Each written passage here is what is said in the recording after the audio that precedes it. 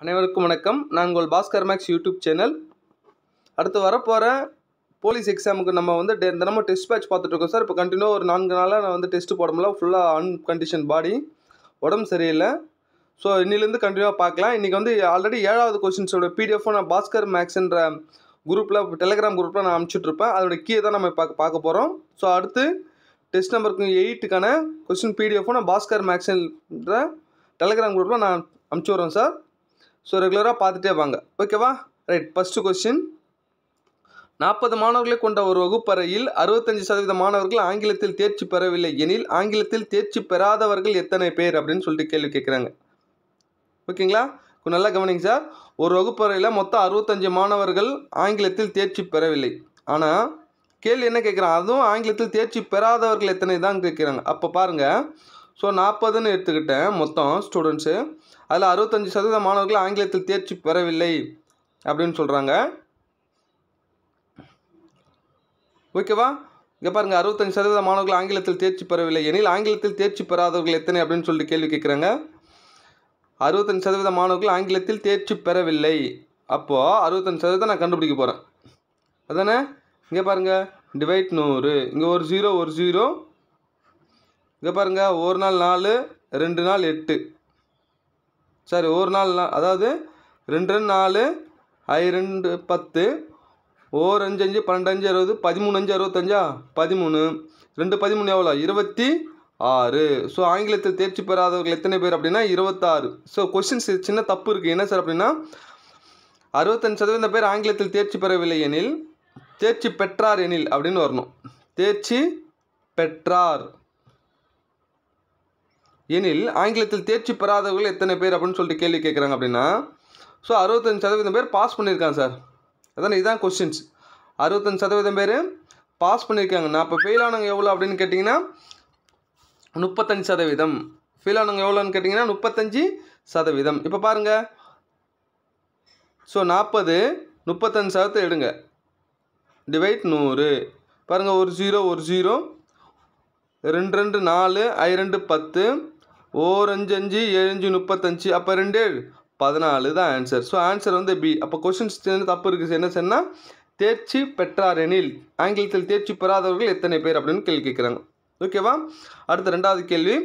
ஒரு குறிப்பிட்ட நாளில் மழை வருவதற்கான நிகழ்தகவு ஜீரோ புள்ளி எழுபத்தி ஆறு எனில் மழை வராமல் இருப்பதற்கான நிகழ்தகவு என்ன அப்படின்னு சொல்லிட்டு கேள்வி கேட்குறாங்க. நமக்கு தெரியும். ஒரு நிகழ்ச்சி நடக்கிறதுக்கும் நடக்காமல் இருக்கிறதுக்கும் ரெண்டுத்தையும் கூட்டினா எவ்வளோ வரணும் அப்படின்னா ஒன்றுன்னு வரணும். அப்போ இந்த ஒன்றுலேருந்து கழிக்கணுங்க சார். ஸோ நடக்கிறத கொடுத்து நடக்காமத்து கேட்குறாங்க அப்படின்னா ஒன் மைனஸ் ஜீரோ புள்ளி எழுபத்தி ஆறு. ஒன்றுன்றது எப்படி போடலாம்? One point zero zero minus zero point seven six இதை கழிச்சிங்கன்னா என்ன வரும் அப்படின்னா இங்கே பாருங்கள் one point zero zero zero point seven six அப்போ இந்த ஒன்று ஜீரோவாக மாறிடும். இது ஒன்பது இது பத்தாக மாறும். பத்தில் ஆறு போச்சு நாலு. ஒன்பதில் ஏழு போச்சுன்னா ரெண்டு. ஜீரோ புள்ளி இருபத்தி நாலு ஆன்சர் எங்கே இருக்குது அப்படின்னா இங்கே பாருங்கள் பி தான் ஆன்சர் ஓகேங்களா அடுத்தது மூணாவது கேள்வி. இரண்டு எண்களின் விகிதம் ஏழு இஸ்டு அஞ்சு. அவற்றின் கூடுதல் முந்நூற்றி அறுபது. எனில் அவற்றில் பெரிய எண் யாது அப்படின்னு சொல்லிட்டு கேள்வி கேட்குறாங்க கூடுதல் அப்படின்னா ரெண்டுத்தையும் கூட்டணும் சார் ஏழு அஞ்சா பன்னெண்டு. ஓகேவா இந்த பன்னெண்டு மடங்கு தான் எவ்வளோ அப்படின்னா முந்நூற்றி அறுபது. இங்கே பாருங்கள் ஒரு பன்னெண்டு பன்னெண்டு மூ பன்னெண்டு முப்பத்தாறு. ஸோ ஒரு மடங்கு எவ்வளோ? அப்படின்னா முப்பதுன்னு கிடைக்குது. ஆனால் அவன் என்ன கேட்குறாங்க? பெரியன்னு கேட்குறாங்க. பெரிய எத்தனை மடங்கு? ஏழு மடங்கு. அப்போ ஏழு இன்ட்டு முப்பது. அதானே? என்ன ஒரு மூவி இருபத்தி ஒன்று இரநூத்தி பத்து ஆன்சர் எங்கே இருக்குன்னா இங்கே பாருங்கள் பி தான் ஆன்சர் ஓகேவா அடுத்தது பாருங்கள் ஒரு வயது கணக்கு.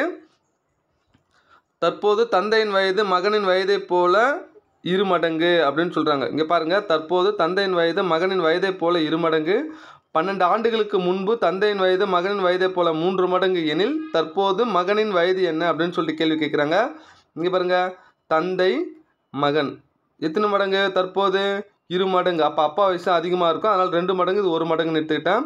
பன்னெண்டு ஆண்டுகளுக்கு முன்பு பின்பு எதனா கொடுத்துக்கிட்டோம். பன்னெண்டு டிஃப்ரென்ஸ் வந்து பன்னெண்டு. வயதை போல் எத்தனை மடங்கு? மூணு மடங்கு எடுத்தாலும் இந்த மூணு இஸ்ட்டு ஒன்றுன்னு போகிறேன் பாருங்கள் இந்த ரெண்டுக்கு மூணுக்கு டிஃப்ரென்ஸ் ஒன்று ஒன்றுக்கு ஒன்றுக்கு டிஃப்ரென்ஸ் ஜீரோ அதனால் டிஃப்ரென்ஸ் ஆமாம் வரலதுக்காக இது இந்த மூணுக்கு ஒன்றுக்கு டிஃப்ரென்ஸ் ரெண்டு இந்த ரெண்டுக்கு ஒன்றுக்கு டிஃப்ரென்ஸ் ஒன்று இந்த ரெண்டு எத்தனை இது கூட பெருக்கணும் என்ன வரும்? நாலு. ரெண்டு எத்தனை ஒன்று கூட பெருக்கணும்னா ரெண்டு. ஒன்று எத்தனை மூணு கூட பெருக்கணும்னா மூணு. ஒன்று எத்தனை இந்த ஒன்று கூட பிறகுனா ஒன்று இப்போ பாருங்கள் டிஃப்ரெண்ட் ஆமாம் வருதா? மூணுக்கு நாலுக்கும் ஒன்று ரெண்டுக்கும் ஒன்றுக்கும் ஒன்று அப்போ இந்த ஒரு மடங்கு தான் எவ்வளோ?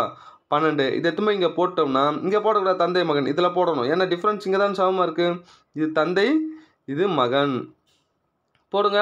ஸோ பன்னெண்டு எத்தனை நாலு கூட பெருகணும்னா ஸோ தந்தையோட வயசு கிடச்சிரும். எவ்வளோ? நாலு இன்ட்டு பன்னெண்டு நாற்பத்தி எட்டு.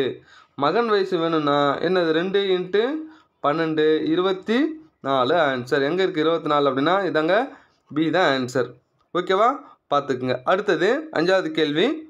சுருக்குக அப்படின்னு சொல்லிட்டு சொல்கிறாங்க எக்ஸ் பை ஒய்யோட வேல்யூ நாலு பை அஞ்சு எனில் இதோட மதிப்பு என்னன்னு கேட்குறாங்க அப்படியே எக்ஸுக்கு நாலும் ஒய்க்கு அஞ்சுன்னு போட்டோம்னா முடிஞ்சு போச்சுங்க ஆன்சர் இங்கே பாருங்கள் ஃபோர் பை செவன் ப்ளஸ் ஒய்க்கு என்ன போடணும்? அஞ்சு போடணுமா? ஐ ரெண்டு பத்தா? பத்து மைனஸ் நாலு டிவைட் பத்து ப்ளஸ் நாலு. இதை கூட்டணும்னா முடிஞ்சு போச்சு ஆன்சருங்க இது பாருங்க. ஃபோர் பை செவன் ப்ளஸ் பத்தில் நாலு போச்சுன்னா ஆறு. இது என்ன ஆகும் சார் ப்ளஸ் கீழே ப்ளஸ் நாலு தான் பத்தை நாலாம் கூட்டினா பதினாலு. இப்போ பாருங்க மூணு ரெண்டு ஆறு ஏழு ரெண்டு பதினாலு. அப்போ மேலே என்ன கிடைக்கும்? கீழே ஏழு ஏழுன்னு வருதா? கீழே ஏழு வந்துருச்சு. மேலே நாலு ப்ளஸ் மூணு அதுவும் ஏழு தான். ஸோ ஏழு பை ஏழு ஆன்சர் என்ன? ஒன்று ஆன்சருங்க எங்கே இருக்கு அப்படின்னா டி தான் ஆன்சர் ஓகேவா பார்த்துக்குங்க அடுத்தது. சார் இது பாருங்கள் ஒரு இந்த மாதிரி குறியீட்டில் கணக்குகளும் கேட்குறாங்க ப்ளஸ் என்பதையும் பெருக்கல் எனவும் பெருக்கல் என்பதை கழித்தல் எனவும் வகுத்தல் என்பதை கூட்டல் எனவும் கழித்தல் என்பதை வகுத்தல் எனவும் எடுத்துக்கொண்டால் இதோட மதிப்பு என்னன்னு கொடுக்குறாங்க. இது மாதிரி கேட்குறாங்கன்னா முதல்ல நம்ம இதை சிம்பிள் மாற்றணும் சார் எப்படி மாற்றலாம் அப்படின்னு கேட்டிங்கன்னா இங்கே பாருங்கள் நூற்றி எழுபத்தஞ்சை போடுறேன். இங்கே மைனஸ்ன்னு இருக்குது மைனஸ் என்ன எடுத்துட்டாங்க? மைனஸ் என்பதை வகுத்தல் எனவும். அப்போ நான் வகுத்தல் போடுறேன். இருபத்தி அஞ்சு. அடுத்து வகுத்தல் என்பதை கூட்டல் சொல்கிறாங்க இல்லையா? அப்போ இங்கே என்ன போகிறேன் நான்?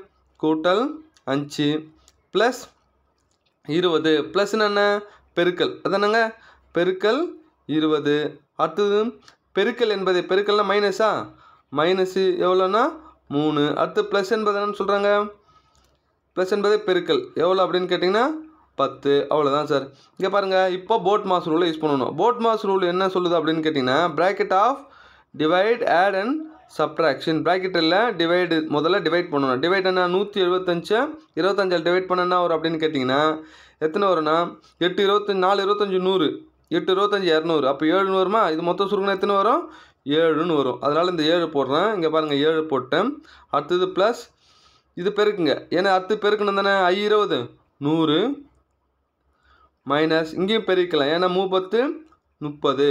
அவ்வளோதாங்க இங்கே பாருங்கள் நூறில் முப்பது போச்சுன்னா எழுபது வருமா? எழுபது கூட ஒரு ஏழு கூட்டினா எழுபத்தி ஏழு ஆன்சர் எங்கே இருக்குது அப்படின்னு கேட்டிங்கன்னா இவ்வளோதான் சார் ஸோ குறியீடில் இது மாதிரி மேத்தமெட்டிக்கல் குறியீடில் இது மாதிரி கொஸ்டின்ஸ் கேட்பாங்க பார்த்துக்குங்க.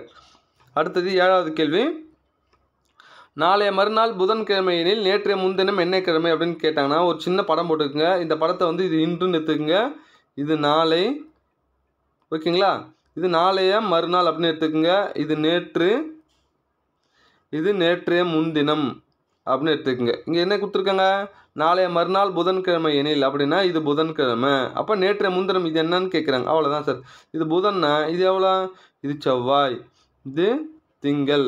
இது ஞாயிறு. இது சனி. அப்போ ஆன்சர் என்ன அப்படின்னு கேட்டிங்கன்னா சனிக்கிழமை தான் ஆன்சர் ஓகேவா ரைட் அடுத்தது இங்கே பாருங்கள் கிழமை கணக்கில் பாருங்கள் தெற்கு என்பது வடகிழக்கு எனில் வடக்கு என்பது தென்மேற்கு எனில் வடமேற்கு என்பது எந்த திசையை குறிக்கும் அப்படின்னு கேட்குறாங்க முதல்ல ஒரு படம் போட்டுக்குங்க இது கிழக்கு இது மேற்கு மேலே வந்து வடக்கு இது தெற்கு அப்படின்னு போட்டுக்குங்க ஸோ இதையும் ஒரு எட்டு எட்டு திசையை தனித்தனியாக பிரிங்க. பிரிச்சாச்சு. இப்போ பாருங்கள் தெற்கு என்பது வடகிழக்கு குறிக்குது. தெற்குனா இதானே? இதான் தெற்கு. வடகிழக்குனா பாருங்க ஒன்று ரெண்டு மூணு. ஆன்டி கிளாக்கில் மூணாவது திசைக்கு போகுது. ஒன்று ரெண்டு மூணு. ஏன்னா வடகிழக்கு தானே? மூணாவதாக போகுது. ஓகேவா அடுத்து வடக்கு என்பது தென்மேற்கு குறிக்கிறது அப்படின்றாங்க. வடமேற்கு வடக்கு என்பது எங்கே இது வடக்கு. இதனை வடக்கு? இது ஆண்டி கிழக்கில் மூணாவது கரெக்டாக வருதா பாருங்கள் ஒன்று ரெண்டு மூணு. தென்மேற்கு கரெக்டாக வருது. வருதா? அவ்வளோதாங்க இப்போ வடமேற்கு திசை எதை குறிக்கிறது அப்படின்னு கேட்குறாங்க வடமேற்குனா எது? இதென்ன வடமேற்கு? அப்போ ஆண்டி கிழக்கில் மூணாவதாக எடுத்துக்கோங்க. ஒன்று ரெண்டு மூணு. அப்போ ஆன்சர் எதை குறிக்குது? தெற்கை குறிக்கிறது. அதனால் கொஞ்சம் நல்லா பார்த்துக்குங்க. அடுத்தது ஒன்பதாவது கேள்வி. சார் விடுபட்ட படத்தை நிரப்புக இது மாதிரி கேட்குறானா சார் முதல்ல நீங்கள் என்ன பண்ணுங்கள் அப்படியே இதை மேட்ச் பண்ணுங்கள் மேட்ச் பண்ணிவிட்டு ஓகேவா இதை அப்படியே லைன் போட்டுட்டு இங்கே பாருங்கள் இது மாதிரி போட்டா என்ன வரைய சொல்கிறேன்னா அதை அப்படியே வரைஞ்சிக்கோங்க. வரைஞ்சிட்டிங்கன்னா இதே ஆன்சர் எங்கே இருக்குதுன்னு பாருங்கள் அதான் ஆன்சர் புரியுதா? எங்கே இருக்குது அப்படின்னு கேட்டிங்கன்னா இங்கே பாருங்கள் ஏழில் தான் இருக்குது வேறு எங்கேயுமே இல்லை பார்த்துக்குங்க. ஓகேவா? இது மாதிரி கேட்பாங்க பார்த்துக்குங்க. அடுத்தது லாஸ்ட்டு கேள்வி. பார்த்துங்க லைன் கிராஃபில் ஒரு கேள்வி கேட்டிருக்காங்க. ஸோ ஒவ்வொரு ஆண்டும் பயணிகளோட சதவீதத்தை கொடுத்துருக்காங்க. ஓகேவா? எந்த ஆண்டு? அந்த முந்தைய ஆண்டை விட மிக அதிகம்னு சொல்லிட்டு கேள்வி கேட்குறாங்க. இங்கே பாருங்கள் ரெண்டாயிரத்தி ரெண்டு முந்தைய ஆண்டோட அதிகமாக இருக்குது எவ்வளோன்னா பத்து அதிகமாக இருக்குது இது எவ்வளோ இருக்குன்னா இது அஞ்சு அதிகமாக இருக்குது இது குறைஞ்சி போயிருக்கு. ஆனால் ரெண்டாயிரத்தி அஞ்சு பாருங்கள் ஜீரோலேருந்து பதினஞ்சு அதிகமாக போயிருக்கு. ஓகேவா? அப்போ எது அதிகமாக இருக்குது அப்படின்னா ரெண்டாயிரத்தி அஞ்சு தான் அதிகமாக இருக்குது ஏன்னா அதை முந்தைய ஆண்டோட கம்பேர் பண்ணும்போது ரொம்ப அதிகமாக இருக்குது இங்கே பாருங்கள் பதினஞ்சு சதவீதம் அதிகமாக இருக்குது ஏன்னா ஜீரோலேருந்து போகுது. அப்போ ஆன்சர் என்னென்னா ரெண்டாயிரத்தி அஞ்சு தான் ஆன்சர் டி ஆன்சர் ஓகேவா? தேங்க்யூ சார் நல்லா படிங்க.